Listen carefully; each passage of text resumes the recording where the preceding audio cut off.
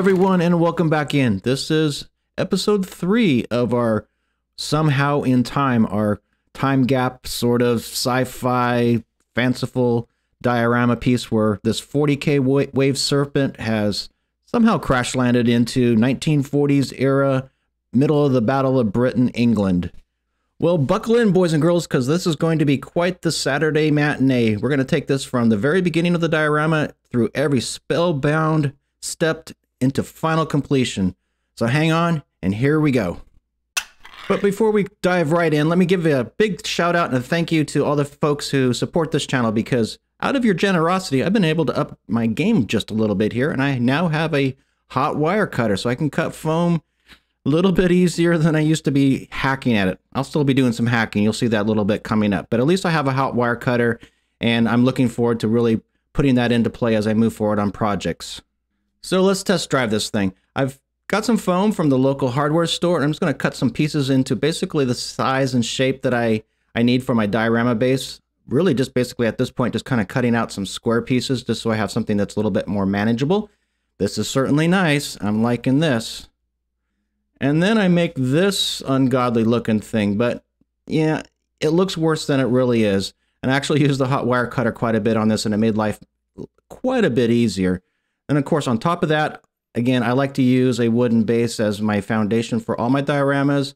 So this will all be cut to size here. So I'll just glue this on and then I can just kind of right go down, kind of like plane this off. Like if this was a table saw here and just cut off that excess foam. And yep, this is pretty nifty. I'm liking this a lot. Okay, now that we have the edges all trimmed up, now I can kind of start planning out the scene here just a little bit. And this is where the carving comes in because I haven't quite figured out how to do this with the hot wire cutter yet. But I need to make this Wave Serpent spacecraft fit into the scene. So we've talked about that before in other dioramas where, you know, you got to incorporate the vehicle, or in this case, the spacecraft, into the scene. And of course, this guy, this spacecraft, is going to be crash landed into this. So there's going to be you know, quite the divot here. Now I have a basic, you know, the, the, the, spacecraft is pretty much where it needs to be. It's kind of sitting there. So now it's time to start playing with the scene. And this is, you know, this is no different than when you're five years old or, you know, say really old like I am, just playing with your toys and seeing what looks good and what feels right. And so I'm just going to add my little figures here. And, you know, the basic concept is that these farmers and these townspeople have taken the pilot of this spacecraft prisoner. So I'm just kind of giving a little bit of a look here to see kind of how the layout of the scene is going to end up being. And I think I need some height in the back, so I think I'll put a tree back there where I just stuck my knife into. Yeah, it's getting there. Of course, we know we're making a diorama if I'm using plaster of Paris. Yes, this is my witch's brew. I use it pretty much every time just to kind of unify my surfaces. And even though I, yep, I have this really nice fancy cutter, the hot wire cutter, and I've got this foam laid out, I still have a very uneven surface. And the plaster and the, this plaster of Paris with the paper and such, it just is such an easy and quick way to do this. Just makes everything nice and even, nice and hard surface. And I don't have to use the nicer texture pastes a little bit later. We'll get to those. I don't have to use those in order to do a lot of the fill work. So I do the fill work with the cheap plaster and I'll come back with the textures later on. Well, I'm going to approach this very much the same way in terms of laying the model into the scene as I did with the Berlin T34 from a couple of episodes ago. So check that out. And I'll put a link up here on the corner here. But basically, I want to be able to get as much of the groundwork done as I possibly can before final weathering or final groundwork and that kind of stuff. So I've wrapped the, I guess you'd call them the leading edges of this spacecraft with some plastic wrap just to protect the surfaces. I'm using some magic sculpt and just kind of sculpting in what will be the holding places or a little bit of earth that has kind of crept up over the top where this is dug into the earth a little bit. And so basically now I have a place where basically it locks the, the craft into a certain location and I can slip the craft out, the spacecraft out of this location, do the weathering, do all the scenic stuff that I need to do, and then pop the aircraft back into place and it'll be right exactly where it needs to be in order to integrate everything within the scene. And as long as I have the magic sculpt out, I wanted to do a little bit of work on this front edge just to give a little bit of interest to the scene. I thought, well, let's put a little bit of a pond here because this is, you know, a little bit of farmland or whatever. And so this little divot in the corner is going to be cast resin. It will be a pond. And so I need to make the shoreline here. And here's a little bit of a trick. If you've worked with resin before, you'll notice that it kind of creeps up the surface. It's called cupping. It's something you really can't can't get around. But what I do here is I'm making a little bit of a shelf. So there's a little bit of an undercut on my shoreline. So as I pour my resin, I'm going to pour it so it goes just underneath that little bit of a ridge there. And that way, maybe it won't eliminate, but it will at least reduce that bit of cupping because that's always a kind of an unnatural appearance. Well, next up, let's tackle this tree in the background here. Um, you know, my blue bowl of really good stuff, usually I have some twigs and sticks and roots and things like that in there. Well, apparently I don't have any of those right now. So rather than go out and do a foraging, I decided let's try one of these wire armature trees. And yep, this is the first time I've ever done this type of work, armature, wire armature sort of trees. And how hard can this be?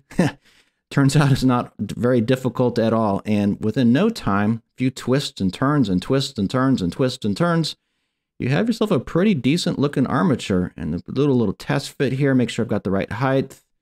Yep, that's going to look just fine.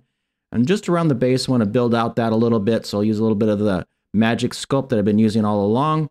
Kind of press that around just kind of make a little bit of a root base. And now, of course, I don't want to have just a twisted wire looking tree trunk here going on here. So I'm making this little concoction, a little bit back to those witches cauldron. A little bit of Mod Podge, which is, of course, you guys all know it's this acrylic paste. Tint that with a little bit of color. And I'm just brushing this on over a few layers. Just let that build up a little bit and it just kind of seeps into all those little wire cracks. And the actual texture looks pretty darn convincing when you're done. I'm pretty impressed. Not bad for a first try. And so the tree is in the rear corner. So now we're going to bounce back to the front corner. Yeah, I know I'm bouncing back and forth, but this is the way that I work. and to be quite honest, I really have no quite idea exactly how this is going to end up looking when it's finished anyway. The idea of using the Mod Podge is really just to give it a, a nice barrier for the resin that's going to come later. So even though this is over plaster, I'm just going to kind of seal it up a little bit. This is just going to make sure that I don't have any leaks and drips and disasters along the way. I think we have all the preparation done. Now we can start kind of adding the life to the scene. So what I'm going to start working with is the AK Terrains, and this is that acrylic paste. And I'm going to do something a little bit different with this diorama that I've generally done in the past, and that being in the past, I've usually used these pastes, and then you'll see that I airbrush over the top of them, and I paint over the top of them, and I do all sorts of things to manipulate the color. I think what I want to do on this one is just let these colors speak for themselves. So I'm not going to add any colors. This is kind of my challenge to myself. Let's see what we can do just basically out of the jar. So I've got the earth tone down, the light earth tone down. That's the light sandy color. And along with that, I'll be using dark earth and the muddy earth out of the jar. So let's see how I can do with all this. Might be kind of fun.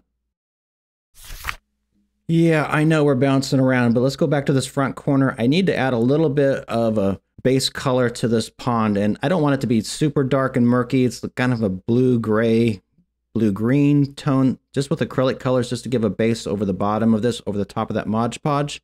And now we can start adding onto our base itself. So we've got that established pattern of where the spacecraft has skidded to a halt. And now we've got this lush English countryside that right now looks like a desert. So we need to take care of that. Just a little bit of PVA glue. No, I don't have any sort of static grass applicator.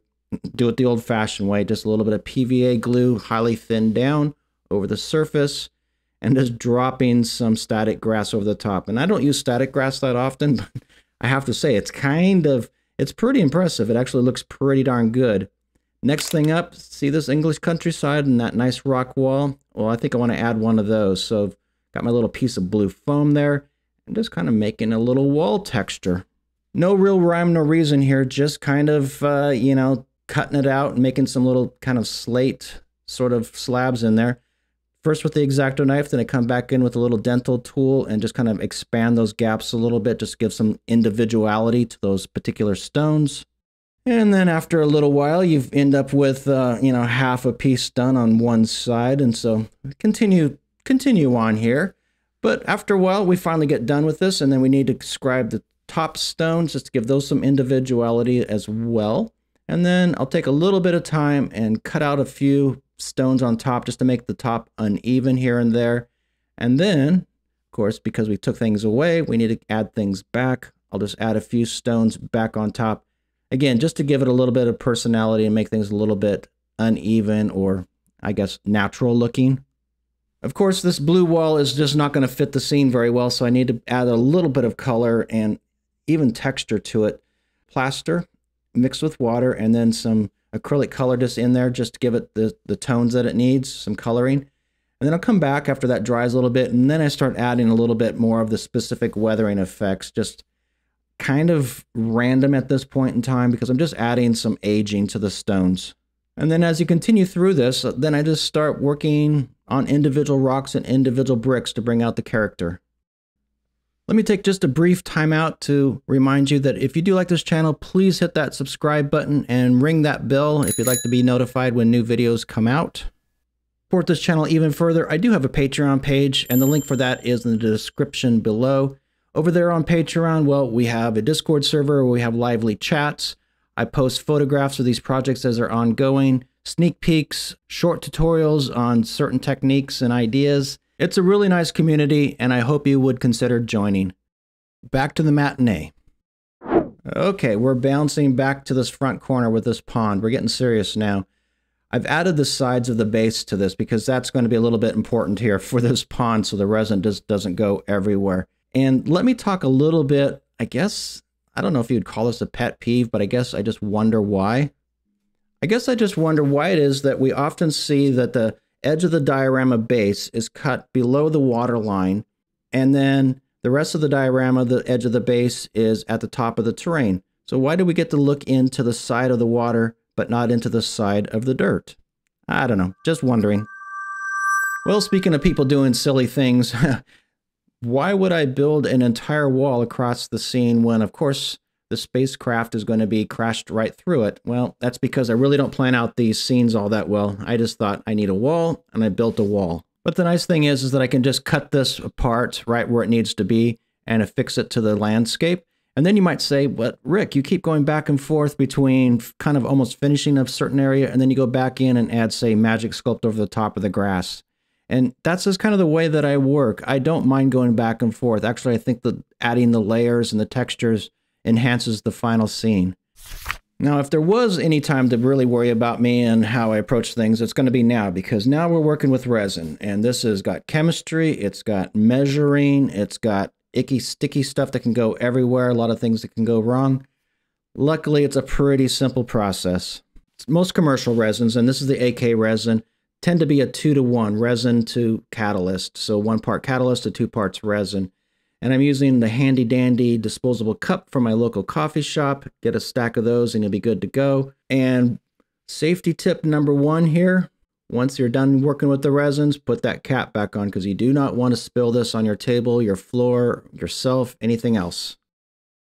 As I mentioned earlier, this is going to be a pretty clean pond, but I do want to give the resin just a hint of color, so just a little bit of a drop here. And this is just going to make it just a little bit cloudy because this is a clear resin. It looks a little bit dark right now, but literally this is just off clear when it once it gets poured. I take care on the stirring because you don't want to put bubbles into the resin mix itself because that's going to cause bubbles in your resin. And then if you pour in a very thin stream, just like this, then that condenses and pops those bubbles as they go onto the surface as it drips down. So you, you have less bubbles within your resin. So now it's just a matter of pouring it down into that little space. Remember, I've already sealed that space up with paint, a little bit of Mod Podge. I've actually added Mod Podge onto the side of the base itself so that naked looking balsa wood has Mod Podge on it as well. So that is sealed as well. And then I have that little bit of a lip and I'm just pouring to the underside of that lip of the shoreline. And then if you plan ahead like I did, You do this as the last thing you do in the evening, and then you put a lid on it, and you wait until morning, and you see what you have.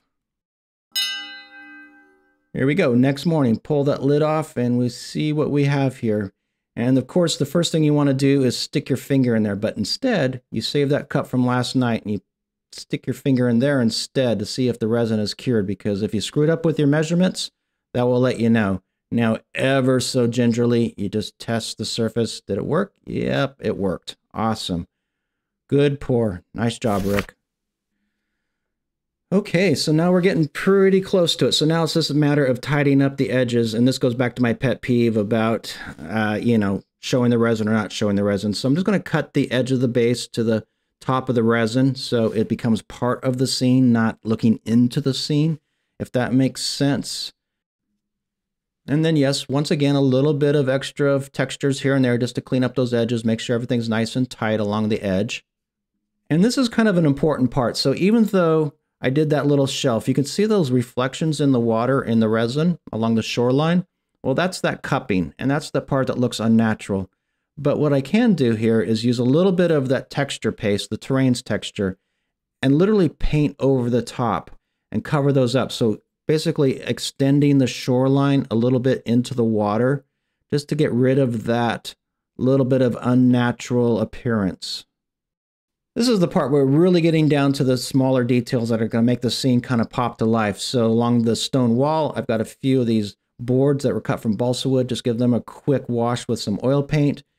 The edges here, they need a little bit of a refresh with the static grass. No big deal. Onto that rock wall, I want to add some overgrowth. So I've got this natural fiber twine, and I'm just kind of pulling apart all the different fibers here. And those are going to be vines. And then I've got this super sticky Scotchgard stuff. Do this someplace away from your workbench because it'll be sticky forever. And then out of my cupboard, I've just got some, this happens to be Italian seasoning. You can use all sorts of different herbs. Basil's a good one, dill's a good one. So, and it makes everything smell really, really nice as well. And so once those are stuck onto these little natural fiber twines, then I can just kind of plaster those to the side of these rock walls and it looks like a bunch of brush and overgrowth that's kind of taking over these. And then I have this really nice pack of wildflowers, I guess they are. And so I just pick a few of these and I just apply those against the wall as well. And this is all about building up layers. So little pops of color here and there. Just add a little bit of purple, a little bit of white, just kind of tuck them right in there. Well, I still have that tree in the background, and that's looking pretty lifeless, just a wire armature. I have this foliage, and I just add a little bit of white glue onto these wire armature branches, and then just pick apart a little bit of this foliage, and it just kind of teases and tears apart, and you can make whatever shape and size you want, and then just lay that over the branches